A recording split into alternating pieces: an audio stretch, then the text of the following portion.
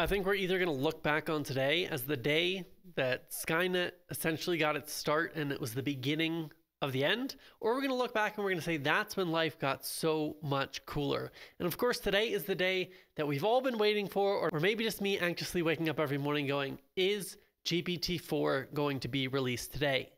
Now, if you haven't been paying attention, GPT 3 is a model released by OpenAI that is a text AI model to put it simply. Now, nobody really cared until ChatGPT was released on November 30th, 2022, and it was so user friendly and allowed people to see the value of this so clearly that it quickly became the most popular tech app of all time. Now, we still had people that looked at the output of GPT 3 and said, this is boring, this is mundane, this is not going to replace anybody.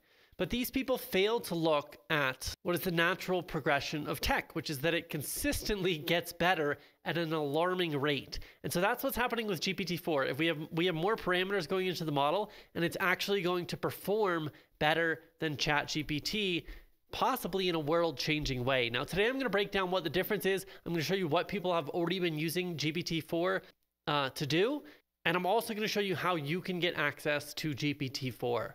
But first, I teach you how to replace your entire org chart in your business with AI tools. So be sure to subscribe to the channel if you want to learn how to make 10 times more in one tenth the time. All right, let's get into it. We're going to cover what GPT-4 is, what can it do, why is it better than GPT-3 and how much, how do you get access, and what new tools are being released. So first things first, it's multimodal, which means it can actually read images. If you're wondering what you'd use that for, imagine that you're blind and you can't see. Just like a normal person might use a translator when they're listening to a different language, a blind person might translate their environment right in front of them. Because GPT 4 can not only take that picture and tell them what is in it, but can explain the context around that. So here's an image that illustrates it well. Here is an iPhone plugged into VGA connector. Now, if you're not old enough to remember this, it's what we used to plug our monitors in with. It's an old plug that nobody really uses anymore now that we have HDMI, but an iPhone is plugged into it. Now, the AI not only could tell that a VGA connector was in this picture, but here's the cool part. They asked it, what is funny about this image? And the AI knew contextually what was funny. It knew this is funny because it's a new technology, an iPhone plugged into an old cord, something that you would never see out in the wild. And so you might think a computer could identify each one of these, but the fact that it can tell that that's abnormal and think that that's the funny part of the image, that kind of blows my mind. Let me show you another one. Here on the left is a drawing, a mock up of a website.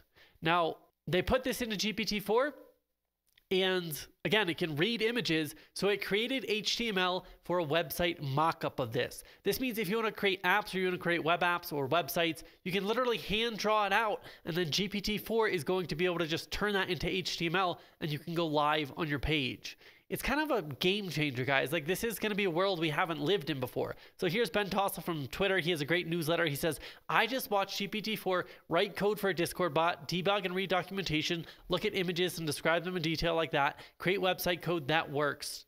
WTF.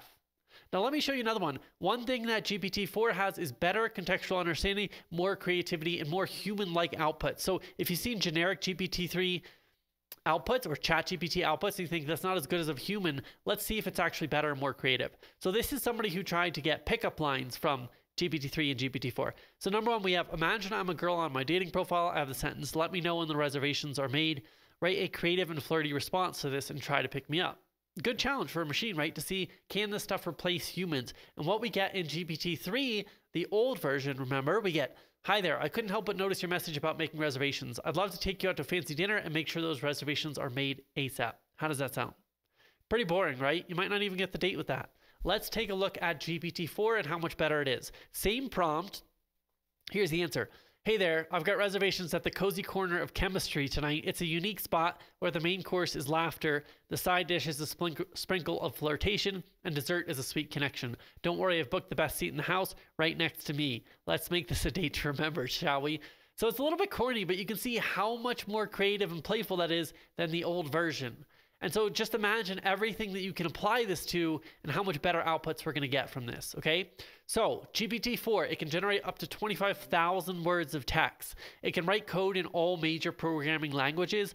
Uh, it can read images and it has better contextual understanding. So basically more like a human. Now this is already running on Bing, so you're going to get search results from G GPT-4 if you're using Bing search. But what else can you do? Uh, Amar here says he coded in 20 minutes in JavaScript, which he knows nothing about Snake the game. Again, if you remember Nokia phones, they had Snake game on it. Now, I thought that was pretty cool in 20 minutes, but then Jenny uh, posted this with Pietro actually created Pong in under 60 seconds. So you can now, with no coding knowledge, create actual games in under a minute. Insane.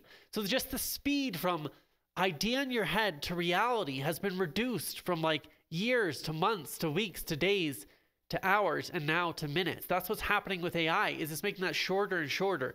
So the thing is that you still have to know what you want to create. So Benedict says the paradox of ChatGPT, in theory, you can use it for anything because it's trained on everything. But in reality, at least the way we see it now, you can only use it for things where you already know the answer. And what he means is like you don't know what you don't know. And so the internet gave us access to infinite knowledge, but if that was the answer, we'd all be billionaires with six-pack abs, right? You still have to know what you're doing.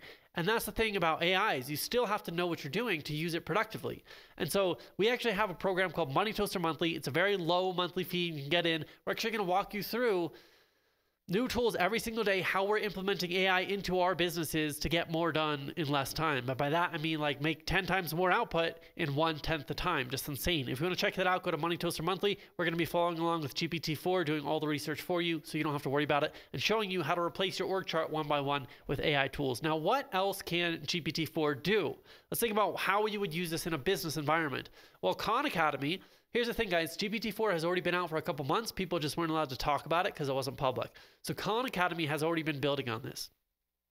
They now have their own coach called Khanmigo that is built on top of GPT-4. And now when you're in there learning, you have your own personalized one-on-one coach. So every business that's in the learning environment every coach, every consultant, even every SaaS product, you're going to get your own one on one tutor. Now, we're already doing that, building out our custom chatbots uh, inside Money Toaster Monthly. It's very cool, but there's actually like unlimited use cases of it. So I wanted to show you this weird one. Um, Josh Pigford is building a, a finance product, maybe. And he needed to find the information for a credit card charge. It just says Torchy's, Wads, Westminster CO. And ChatGPT was actually able to find out exactly what the charge is. Like, you ever have a charge on your credit card statement, you don't know what it is? It found out exactly what it was, and then it fed it back in JSON format to his software so you know exactly where your charges are coming from. Here's another one that you might not think of. Uh, it says, Do Not Pay is working on using GPT-4 to generate one-click lawsuits. Is this for better or worse? I'm not sure. It depends who you're using them against. But you can sue robocallers for $1,500 so it says imagine receiving a call, clicking a button, call is transcribed, and a thousand word lawsuit is generated. GPT 3.5 was not good enough, but GPT 4 handles the job extremely well. So you can see we're now in territory that we haven't seen before. We can do things that GPT 3.5 just wasn't quite good enough for. Here's Intercom. They've actually because they saw the writing on the wall, rebuilt their whole company around AI and GPT-4. So it says, please meet Fin, a world first and perhaps our most important release to date, powered by OpenAI's new GPT-4 and Intercom's proprietary ML tech. I mean, kind of the irony of this, guys, is that anybody's going to be able to build a customer support chatbot in literally like 30 seconds. I did one this morning. And so Intercom's coming out with this, but we'll see if they can actually survive. So this is ChatGPT for customer service. Um, which is pretty cool. And you can define the parameters, like you can tell it what you don't want it to talk about and things like that. Um, here's Ben Parr. He says, huge news in AI. Google just launched generative AI across all Google Workspace, Gmail, Docs, Sheets, Slides, Images, everything. So this isn't GPT-4. This is Google's own AI, but I'm just very curious about like everybody thinks that OpenAI is winning the race here just because we haven't seen consumer level products from Google yet, even though it's built into all their tech already. And so I think they're just going to come out and just like a tidal wave, just take over the AI space. And what I'm really looking forward to, because I have to do lots of presentations, is the slides feature, which they have released uh, in preview form. Google will be coming out with AI in all their products. So Google Docs, Google Sheets, Google Slides. In a couple of weeks, most likely, you're going to be able to use all of these with AI, which is going to be absolutely incredible and another game changer. Now, this all sounds cool and gimmicky and novel, but like, does this really matter to humanity? And the thing is, yes, AI is going to be able to discover things that we didn't even realize were possible. So Dan here says uh, GPT-4 does drug discovery. Give it a currently available drug, it can find compounds with similar properties, modify them to make sure they're not patented, purchase them from a supplier, including sending an email with purchase order. So it can do the whole thing. So it can AI is going to be able to do you know cancer research, drug discovery, um, figuring out just like secrets of the universe that we don't know as humans because we're not smart enough to synthesize all of humanity's collective knowledge just in one go, which AI can do. So that's the crazy part is like if you learn how to use these tools, guys, it's going to be in a world that's unrecognizable. And we just saw ChatGPT come out in November 30th, 2022, and it's already changed the world in ways that we couldn't have foreseen. And the rate at which people are shipping products is just insane. And real quick, how to get access to Chat GPT with GPT-4. If you are a ChatGPT Plus customer, you can come in here and you're just going to change the model up top. Now, if you don't see it up there, just log out and log back in and it should pop up. Do you want to try GPT-4? Now, the other way to get it is through the API, but you have to join the waiting list for that. And so, again, in Money Toaster Monthly, we're going to stay up to date on all that, specifically in the context of running your online business. We're going to show you how to replace yourself in each piece of the organization so you can operate like you have a team of 25 or 50, but is one or two or three people in your business. So you can scale 10 times as much as one tenth the time as you. So, I hope you guys like this quick run through of GPT 4. I'm going to go play with it a little more, and you can be sure that we're going to keep uh, reporting on this. So be sure to subscribe to the channel if you want to get more. Go check out moneytoastermonthly.com if you want to follow along and learn how to implement this in your business. That's all for today. I'll see you on the next one.